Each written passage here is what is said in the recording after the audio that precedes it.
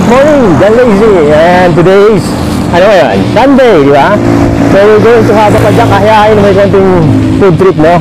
At ang kasama natin na ready ready nung magbukbang. Ayun, no? Ito ito, Arnie. Good morning! Ayan, so ready ready na magbukbang mamaya, no? Padyak, hayahay. Pupunta tayo kay Ashley para magmukbang. At ang nasa likod na, no? Lazy boys yan, no? Alright. So, tara, samahan nyo kami sa isang padyak, hayahay for today.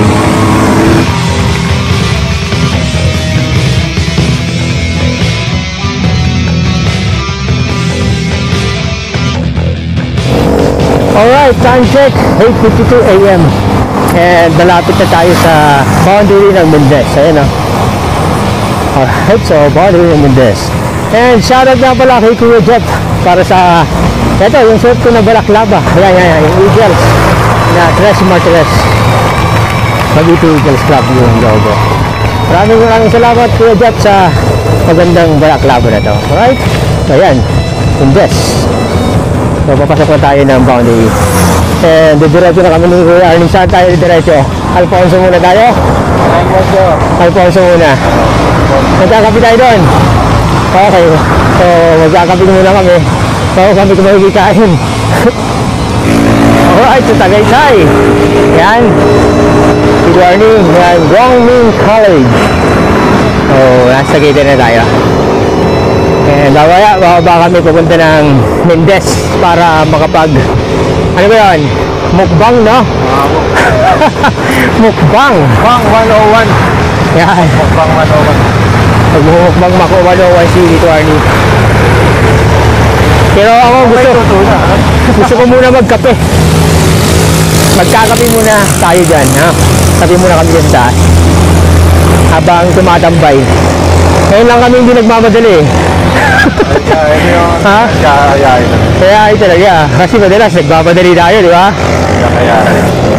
Alright? Ayun o.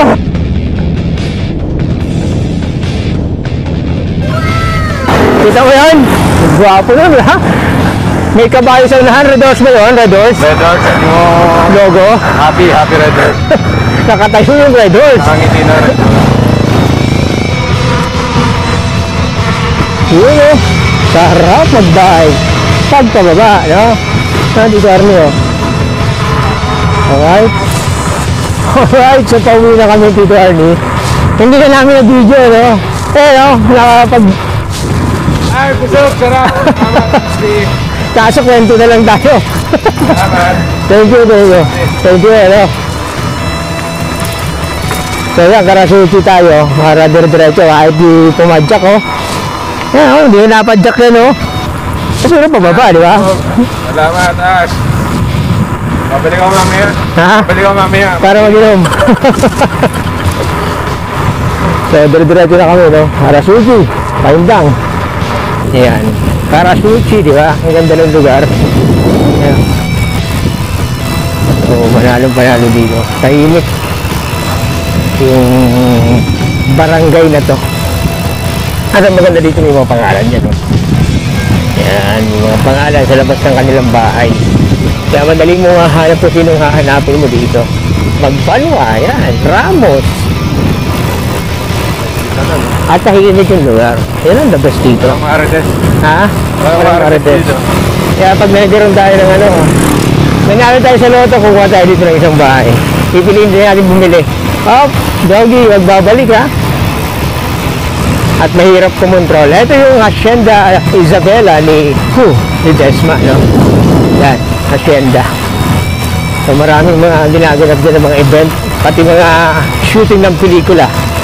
Minsan ginagawa dyan, no? Hacienda Isabela. Okay? So, Karasuchi. Ayan, school. And pa-exit na tayo ng Karasuchi. Papunta na tayo sa anong bayan yan, anong barangay. Wala, welcome lang nakita natin. Wala man lang thank you. Wala oh. Tayo welcome. Ha? Hindi tayo welcome. Hindi tayo welcome. Pero nakipag-fiesta tayo, no? Alright, so mag-12 p.m. na, no? So, saktong sakto lang to para makauwi na kami. Nakapagtakbong hayain na kami ni Tito Arnie. Hey, Tito Arnie. Alright. So, ano, hanggang dito na kami. Muli, ito si John Lacey kasama si Tito Arnie. Ayan, ano masabi mo Tito Arnie? Next ulit. Next ulit. Alright, so, sige. Next week ulit.